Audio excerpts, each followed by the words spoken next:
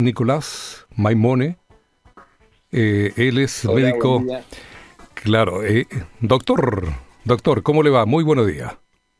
Buen día, buen día. Gracias por, por la invitación y un saludo a la audiencia.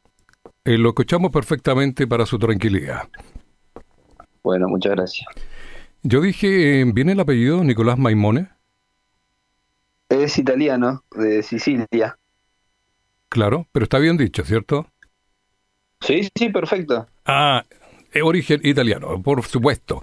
Eh, yo decía que es médico ginecólogo, especialista en fertilidad y por supuesto pertenece a este tremendo equipo que ha formado eh, la clínica Clever Salud. Ahí especialistas del Centro Integral de la Mujer de la clínica Clever Salud que está en Cáceres 630 a una cuadra de la Avenida Libertador Bernardo Higgins aquí en Rancagua. Vamos a conversar un tema muy importante, doctor eh, Maimone, en respecto a lo que tiene la, que ver con la fertilidad. ¿Cuándo consultar y cuáles son los tratamientos disponibles? Es el tema de esta jornada. Y vamos a comenzar preguntándole, doctor, cuáles son los factores, los reales factores que pueden afectar la fertilidad tanto eh, en damas como en varones. Bueno, es muy importante la pregunta porque eh, la infertilidad es un problema eh, global importante en la pareja y eh, cada vez tiene un aumento cada vez más progresivo. Y las causas son compartidas, son 50 y 50 con el hombre, con la mujer. Y los factores que pueden llegar a influir, a, tener en cuenta, en primer término es la, postergación del primer hijo, de la búsqueda del primer embarazo. otro factor pueden ser las enfermedades de transmisión sexual, las enfermedades metabólicas. Dentro de esto cada vez eh, se ve más en el mundo globalizado la obesidad, todos los que son los, nuestros hábitos tóxicos, el tabaco, las, drogas, eh, las enfermedades, eh, hay una enfermedad muy particular en la mujer que es la endometriosis, antecedentes quirúrgicos de cirugías que haya tenido la persona, tanto hombres como mujeres, y en este mundo globalizado e industrial todos los que son los disruptores endocrinos que se pueden llegar a obtener en las comidas ultraprocesadas, los plásticos y demás. Esos son algunos de los factores que uno puede llegar a tener en cuenta. Claro, así a grueso modo, el doctor eh, Maimoni nos está aquí hablando eh, a la pregunta que le hicimos de cuáles son los factores que pueden afectar la fertilidad tanto en los varones como en las damas. Eh, doctor, ¿en qué momento eh, una pareja debe considerar consultar a un especialista en este tema de la fertilidad? Bueno, eh, lo más importante es eh, que consulten, sobre todo en personas jóvenes, cuando tienen relaciones sexuales frecuentes y después de un año de, de este tipo de relaciones no logran concebir. Pero hay factores a tener en cuenta factores que, uno alarman eh, o dirían, bueno, ¿cuándo antes tengo que consultar con antelación? Bueno, más o menos a los seis meses se les aconseja a aquellas mujeres que tienen más de 35 años, que tienen algún trastorno en sus menstruaciones eh, o alguna enfermedad tanto del útero como de las trompas, eh, que sospechemos que tenga esta entidad tan conocida que es la endometriosis, eh, o sobre todo en el varón que tenga alguna patología, sobre todo que se vea reflejada en, en una alteración del espermograma, en el semen. Eso sería más o menos cuándo consultar y consultar con antelación a los seis meses cuando tenemos alguno de estos factores.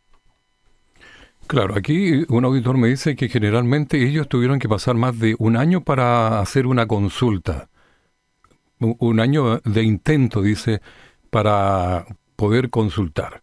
¿Es un tiempo suficiente? Claro. Si, si pasa más de un año ya eh, de tener relaciones frecuentes y la persona no, la pareja no logra el embarazo y ya es conveniente consultar.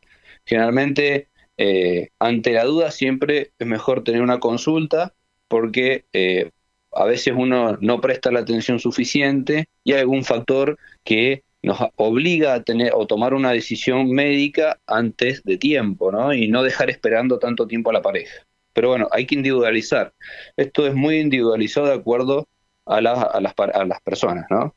Pero más o menos ese es el tiempo promedio. Se podría decir, doctor, que cada caso es independiente, es individual. Exactamente, exactamente. la regla general es que en jóvenes menores de 35 años uno podría llegar a, esperar hasta un año, pero ante la duda es mejor consultar porque a veces hay ciertas patologías o factores de riesgo que hacen que uno tenga que tomar conductas antemano y ayudar a la pareja y no esperar tanto tiempo. Claro, y, si ya llegamos a, eso de intentarlo en forma natural, doctor, eh, ¿nos podría decir cuáles son los tratamientos eh, de fertilidad más comunes disponibles hoy en día? Bien, los tratamientos básicamente se dividen en dos grandes grupos, ¿sí? Los tratamientos de baja complejidad, que son para un determinado grupo de pacientes, y los tratamientos de alta complejidad, ¿sí? Em, esos tratamientos de baja complejidad son básicamente la inseminación intrauterina o las relaciones sexuales programadas, donde uno ayuda a la pareja en determinados momentos del ciclo a, a buscar un embarazo. Y dentro de las de alta complejidad, básicamente es la fertilización in vitro. ¿sí? Perfecto. Eh, aquí me dice un auditor que es importante asistir con la pareja a estas consultas. Creo que tiene razón. ¿ah? sí. Sí, porque muchas veces eh, hay, hay, disculpe doctor, muchas veces hay los comentarios es que puede ser la dama la que esté eh, con problemas, pero también puede ser el varón. Entonces, yo creo que lo ideal, tal como dice el oyente, es que asistan en pareja. Exactamente, la reproducción es 50 y 50. los problemas reproductivos son de la pareja entre los dos. Si bien a veces la mujer se lleva un mayor volumen de estudios a realizarse que el varón, pero los problemas reproductivos son 50 y 50. Entonces es muy importante que puedan venir a la consulta con la pareja masculina porque uno ahí puede también conocerlo, hacer una historia clínica y poder no solamente pedir el espermograma, pero recabar mucha información que es de muy, mucha utilidad. Claro, eso es muy importante. Bueno, eh, contarle a los auditores que estamos hablando con el doctor eh, Nicolás eh, Maimone, que es médico especialista en fertilidad, médico ginecólogo del Centro Integral de la Mujer aquí en la clínica Clever Salud. doctor Maimone, ustedes ahí en la clínica han conformado un equipo realmente muy importante de especialistas para atender estos problemas. Sin duda, sin duda, hay un buen grupo de trabajo, profesionales de, alto nivel eh, y bueno, cada uno abocado a su área y, interdisciplinario consultándonos entre todos. Yo creo que eso es lo más importante, ¿ah? que todos los profesionales estén juntos en pos de ayudar a las personas, sobre todo en este tema de la... Eh, ¿Se puede decir eh, infertilidad también, doctor? ¿Es lo mismo que fertilidad o infertilidad? la infertilidad esa es la causa de, de, conseguir, pero sí se puede decir para que se interprete, para que el oyente lo pueda interpretar es lo mismo, no, no, habría problema. Claro, perfecto. Eh, mire, aquí una auditora dice, eh, ¿es efectivo que la edad afecta la fertilidad tanto eh, en el hombre como en la mujer? sí, sí, sí, la fertilidad se afecta en los dos sexos, teniendo en cuenta que en la mujer eh, aumenta, es decir, el factor de riesgo empeora, ¿no? La causa o la probabilidad de lograr un embarazo empeora a medida que pasan los años. En el hombre pasa parecido, algo parecido, pero en menor cuantía porque el hombre sigue produciendo espermatozoides eh, durante toda su vida. Lo que se va a ver afectado es la calidad de ese espermatozoide, no la cantidad, sino la calidad. En la mujer tenemos un factor que no solamente se ve afectada la cantidad porque es finita la reserva ovárica, sino también la calidad. Entonces, eh, es muy importante que se consulte a tiempo.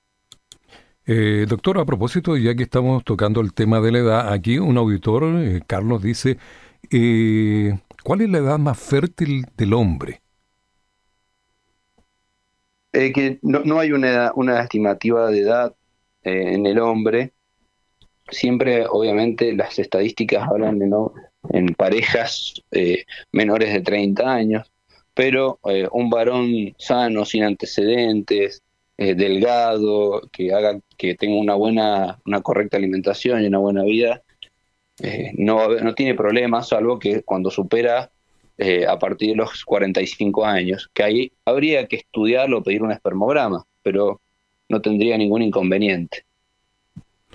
Perfecto. ya que estábamos hablando también, doctor, de los tratamientos de fertilidad, a ver si usted nos podría explicar las diferencias entre tratamientos como la inseminación artificial, también eh, la FIB, la fertilización in vitro y otros métodos que hay. Perfecto. Bueno, la, dentro de los tratamientos de baja complejidad se encuentra lo que es la inseminación. Así que les comento este. La inseminación artificial es el tratamiento de baja complejidad. Baja complejidad se refiere porque a la mujer en, condiciones eh, óptimas, se le estimulan los ovarios, ¿sí? Al marido o a la pareja se le pide una muestra del semen, se prepara y en un momento determinado del ciclo de la mujer que estaba en estimulación, se coloca el semen con una canulita adentro del útero, ¿sí? Eh, es, un, es un tratamiento de, como dice la palabra, de baja complejidad porque no no requiere eh, un procedimiento mayor que la toma quizás de una pastilla de la mujer y alguna que otra ecografía transvaginal, endovaginal. Eh, así que es de baja complejidad. los tratamientos de alta complejidad, en particularmente la fertilización in vitro, es un proceso un poco más laborioso porque ya se requiere de un laboratorio, ¿sí? donde a la mujer se la estimula, se obtienen esos óvulos mediante un procedimiento eh, que si bien eh, es de, baja, de bajo riesgo, pero es un procedimiento médico en fin, donde hay que aspirar esos óvulos, esos óvulos junto con el semen de la muestra del marido, en el laboratorio se provoca la fertilización para obtener a futuro el embrión. Luego ese embrión es el que se coloca con un catéter a través del útero y se lo deposita ahí. Ese procedimiento es un poco más invasivo, desde la medicación de la mujer, la cual se tiene que inyectar, la obtención de los óvulos eh, y obviamente el desarrollo del embrión que lleva, que va en, el, en un laboratorio. Perfecto. Eh, bueno, estamos conversando con el doctor eh, Nicolás Maimone respecto a este tema, tremendo tema que es la fertilidad, cuándo consultar y cuáles son los tratamientos disponibles. Doctor, eh, a ver si usted podría reiterar eh, esto de cómo es el proceso de diagnóstico de infertilidad y qué pruebas se realizan tanto en hombres como mujeres.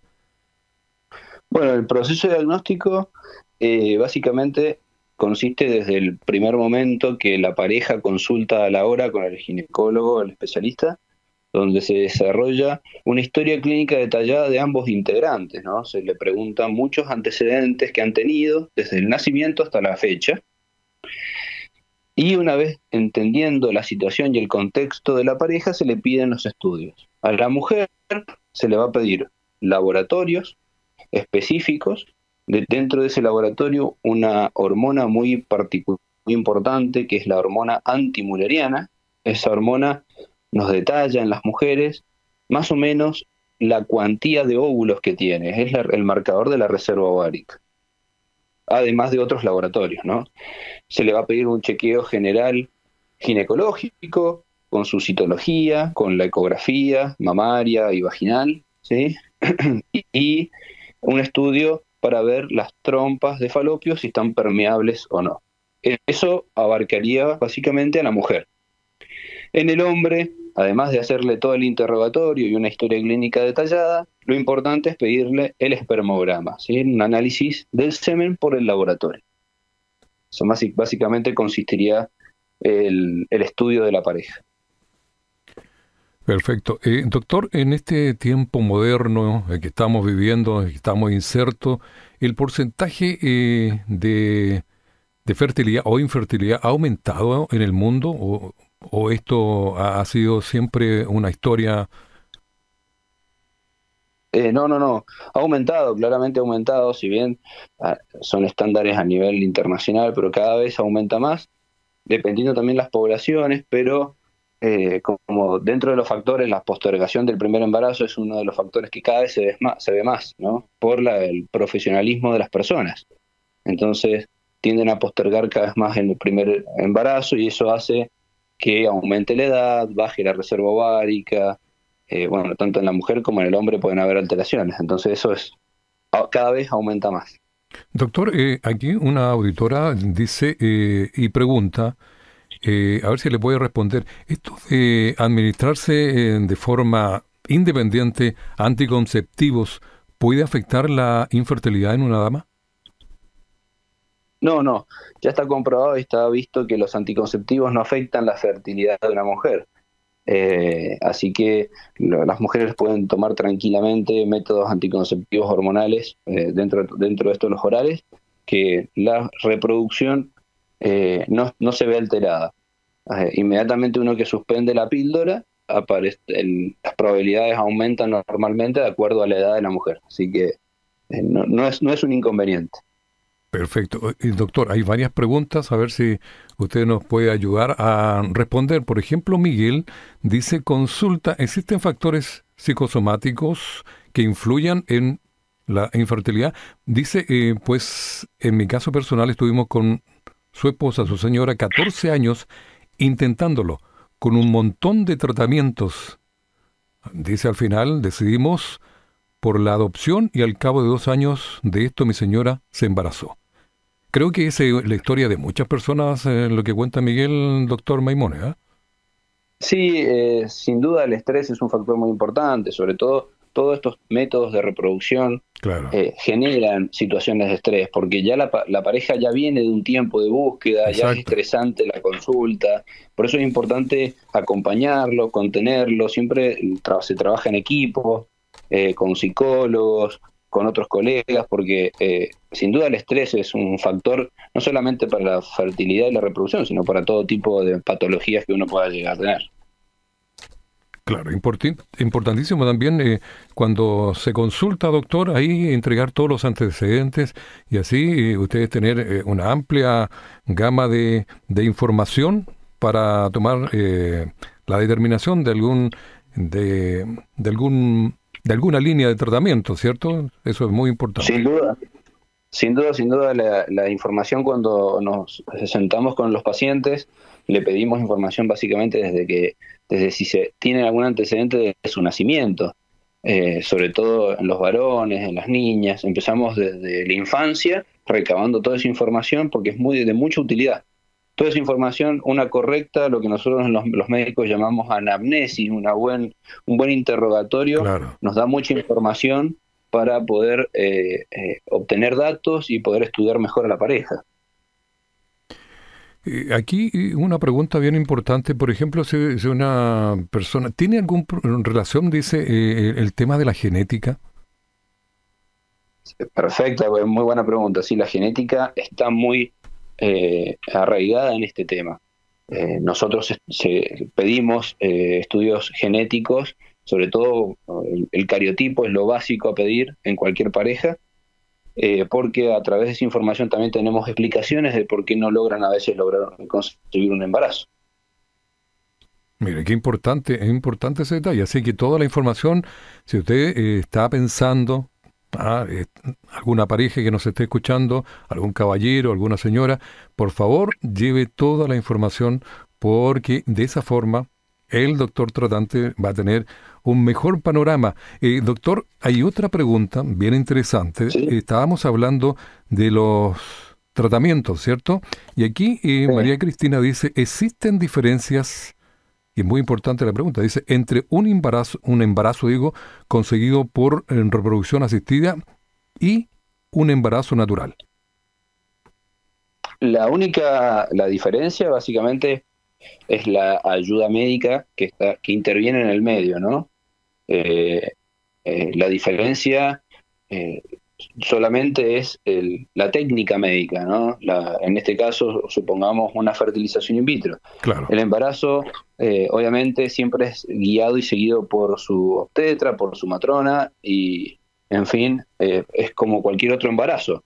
Pero es la forma, es uno lo ayuda al paciente o a las pacientes a lograrlo, eh, ¿sí? Porque suplantan el déficit que uno puede llegar a tener.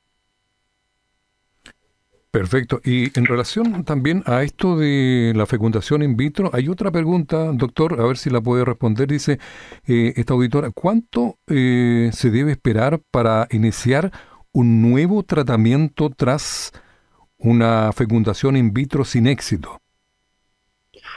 Eh, bueno, una buena pregunta, muy técnica. Muy técnica, claro. Un mes, un mes con que la paciente una vez que eh, su, su resultado es negativo de ese tratamiento, se deja que menstrue, se deja un ciclo básicamente de espera y al otro mes ya puede retomar un nuevo tratamiento, eh, obviamente en, en, condiciones y en seguimiento por su médico, ¿no? Claro, eh, y también en respecto a esta misma línea, doctor, a ver si nos puede responder, ¿qué riesgos y o complicaciones tiene la fecundación in vitro? Eh, riesgos, básicamente, eh, como es un procedimiento donde uno intenta estimular los ovarios, a veces el embarazo eh, múltiple es, uno de los factores, pero actualmente está muy, muy, muy cuidado por el médico tratante, el médico reproductólogo, el cual la tasa es muy baja. Básicamente está casi igual a la tasa población normal. Así que no, eso es uno de los factores. Pero eh, obviamente los riesgos siempre eh, dependen del caso del paciente. Hay mujeres que tienen el extremo de la baja reserva, que tienen una reserva ovárica muy alta, entonces los tratamientos de reproducción que uno estimula esos ovarios a veces son complicados porque pueden llegar a provocar ciertas patologías si uno hiperestimula esos ovarios. Por eso es algo muy detallado y a llevar en cuenta del médico tratante, ¿no? Claro, y, respecto, aquí también hay una pregunta de un auditor, dice, eh, están hablando de los riesgos y las complicaciones de la fecundación in vitro. ¿Podría decir si hay riesgo en la inseminación artificial? Eh, no, es un procedimiento de, de baja complejidad. Eh, como, como digo, el riesgo básicamente es en el, no del acto en sí, del acto médico, de la ayuda del tratamiento, sino de tener una gestación doble, un embarazo gemelar. Pero eso está muy controlado también por, por el médico al momento de realizar la estimulación ovárica, así que también no, no hay un riesgo médico en sí. Son procedimientos que ya están tanto en la alta complejidad como en la baja complejidad, están muy estandarizados si bien todo acto médico tiene un riesgo en sí, pero están muy controlados, así que no habría inconveniente en, los pacientes. Doctor, eh, estos tratamientos de los cuales usted ha, conversado, ha hablado eh, con mucha claridad, ¿son ambulatorios? ¿Requieren anestesia? ¿Qué tipo de anestesia? Perfecto. Buena pregunta. Los tratamientos de baja complejidad, eh, tanto los de alta como de baja complejidad, son todos ambulatorios. ¿Sí? El paciente concurre a la clínica, se hace el procedimiento y se va al domicilio. La administración de la medicación se le explica al paciente y lo, realiza el propio paciente. La diferencia es que en la alta complejidad se requiere obtener esos óvulos a través de un procedimiento de una punción vaginal. Ese procedimiento se hace con anestesia, una, una simple sedación para que el paciente o la mujer no tenga dolor. Eh, pero es un procedimiento de baja complejidad también. Perfecto. Y hay que decirlo, doctor, que mm, el centro integral de la mujer que tiene la clínica Clever Salud realmente es eh, muy confiable, muy completo. La tecnología es realmente fantástica, la que ha integrado la clínica Clever Salud, sobre todo para las damas, para las mujeres, para que puedan hacerse estos tratamientos. Sin duda, sin duda es eh, la clínica cuenta con la uh, última tecnología y un trabajo muy integral interdisciplinario para poder llevar a cabo todos estos tratamientos. Claro, y, respecto a esto mismo, eh, a ver si nos puede decir cómo la tecnología ha cambiado el panorama del tratamiento de la infertilidad en los últimos años? Eh, la tecnología es algo que cada vez está presente hasta en nuestra cotidianidad, en nuestra casa, en nuestro domicilio y sobre todo en la medicina. Y en la reproducción, eh, cada vez más. Un ejemplo, eh, el estudio, un estudio que se le hace a los embriones en, los, en los tratamientos de alta complejidad, una vez que el, el biólogo une el óvulo con el espermatozoide y forma el embrión, hay un estudio que se llama PGT, que se le hace una pequeña biopsia y se obtiene un material genético y se lo puede estudiar. Y eso nos arroja todo un panel genético del embrión, nos dice si está sano, nos dice el sexo, nos dice un montón de información que en esos tratamientos de alta complejidad aumenta muchísimo la tasa de embarazo. Claro que sí. Bueno, a esta hora estamos conversando con el doctor eh, Nicolás eh, Maimone, que es eh, ginecólogo. Oiga, realmente hay muchas preguntas, sobre todo, mire, aquí estoy seleccionando una doctora que tiene que ver, ya que dijo usted, la tecnología ha cambiado mucho el panorama de los tratamientos.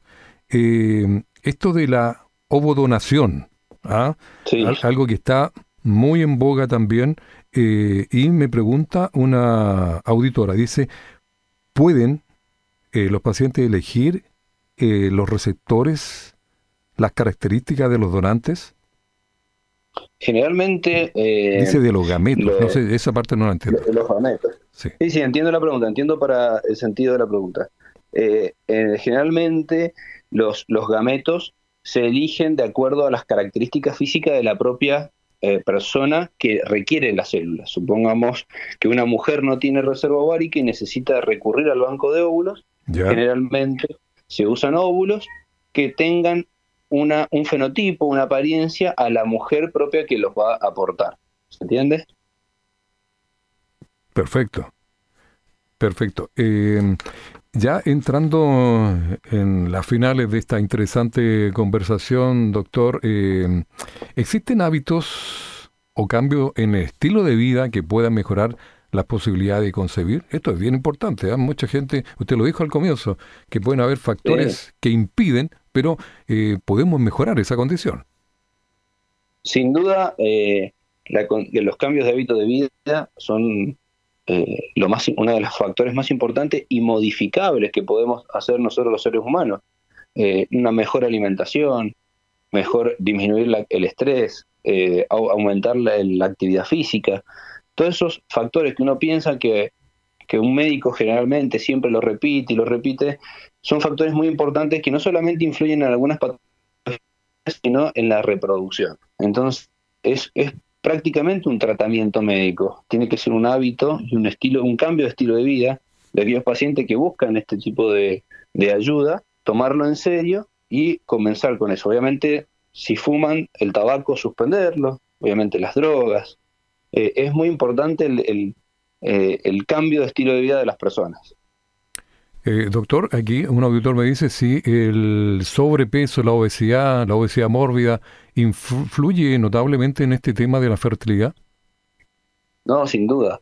La obesidad es lo que cada vez se ve más porque tenemos vidas cada vez más sedentarias y la obesidad afecta tanto en hombres como en mujeres. Entonces es un factor eh, muy importante a modificar. ¿sí?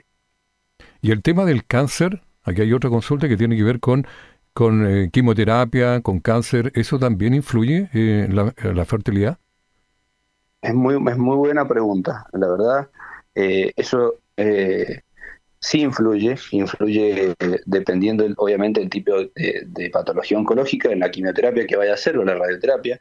Por eso es importante que la mujer o el hombre que va a ser sometido a un tratamiento oncológico, sea cual fuere, es importante que lo consulte con su médico y le diga, yo quiero el día de mañana ser padre, esto afectará mi reproducción, porque hay formas de poder guardar sus gametas, tanto espermatozoides como óvulos, para futuros eh, búsqueda de embarazo una vez que supere la instancia de la patología que lo, que lo lleva en el momento. Oiga, qué importante eso, doctora.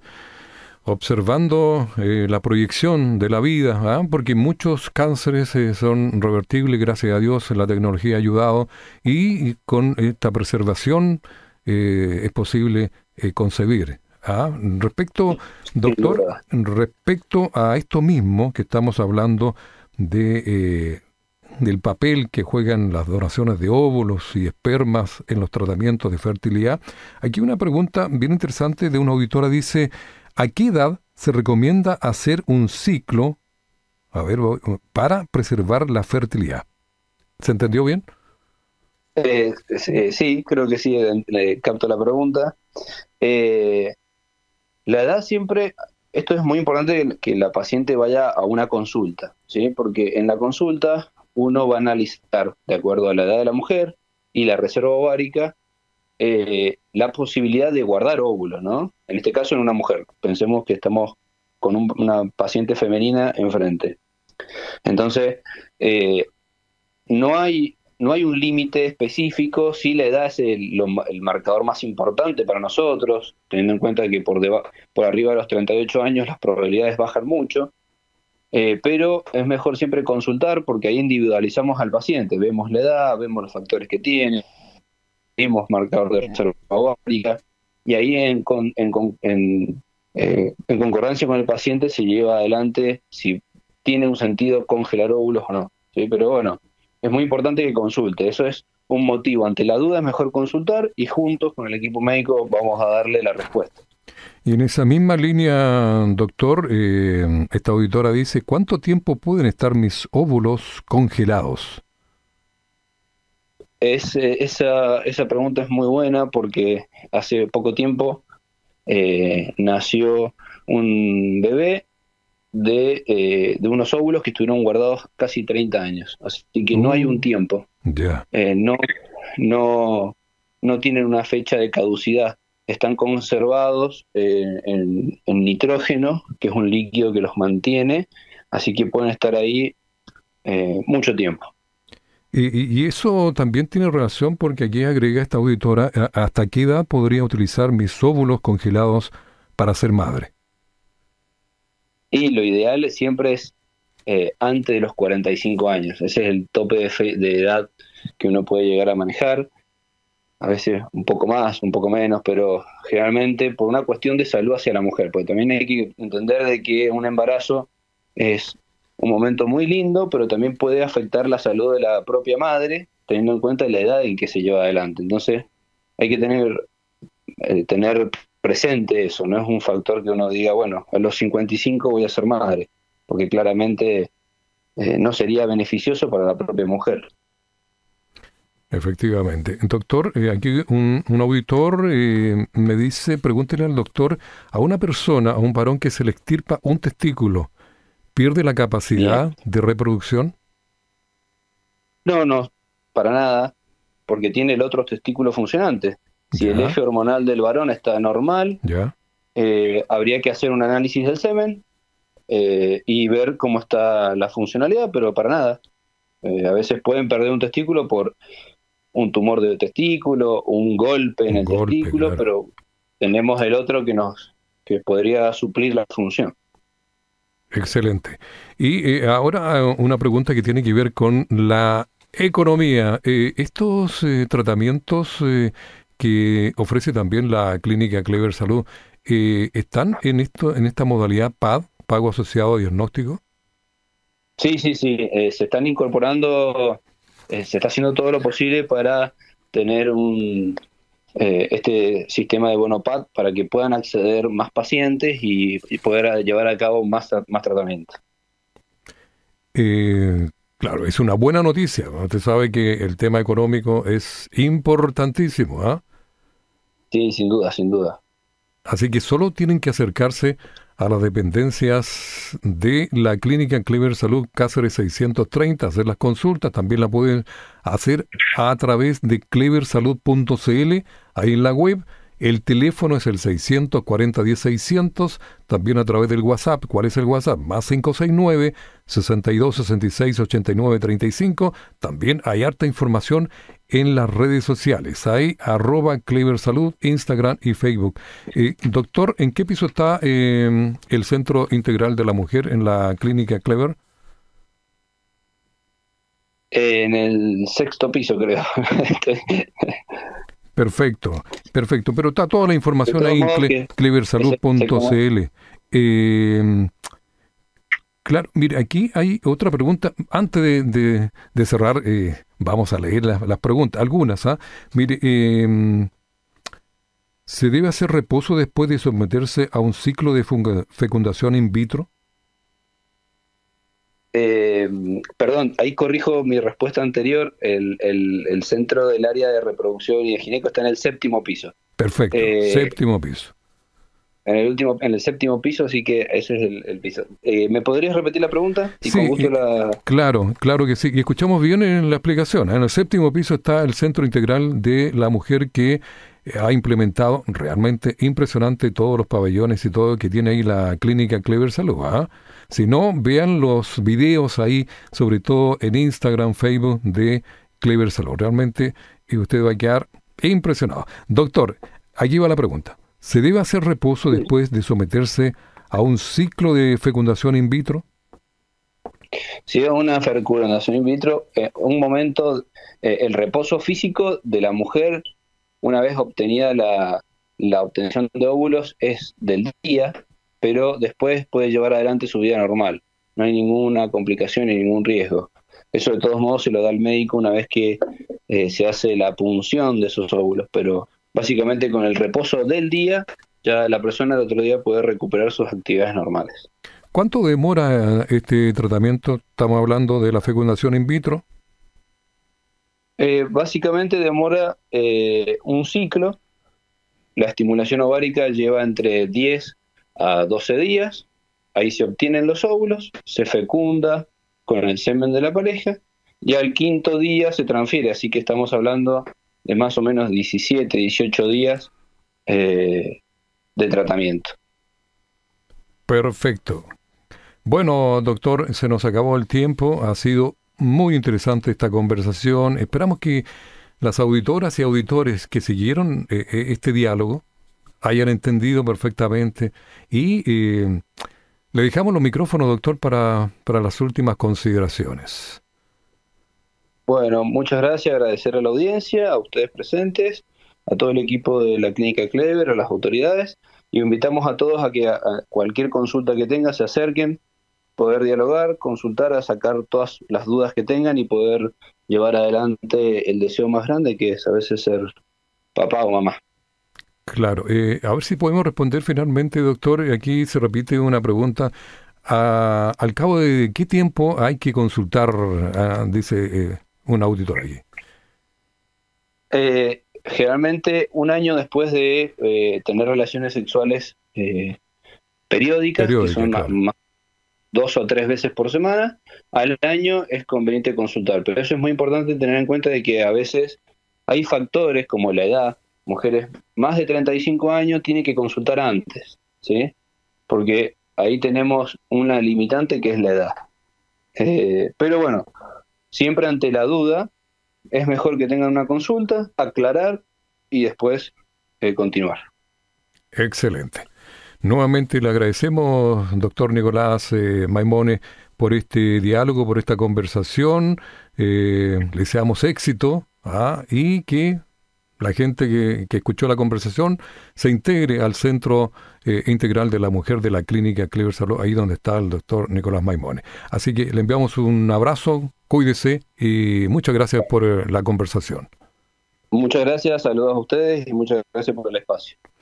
Muy bien, nos separamos un instante. Muy interesante todo lo que conversamos ahí con el doctor. ¿ah? Realmente hay muchas consultas, y eso es lo bueno, muchas consultas, porque esta es una situación que eh, afecta a un porcentaje bastante importante de la población, ¿ah? así que no es menos, estas entrevistas sirven para eso, para orientarlos. No se olvide, piso séptimo está el Centro Integral de la Mujer de la clínica Clever Salud. Ah, pero no es tan solo este problema de la fertilidad de la dama, los varones también tienen que consultar.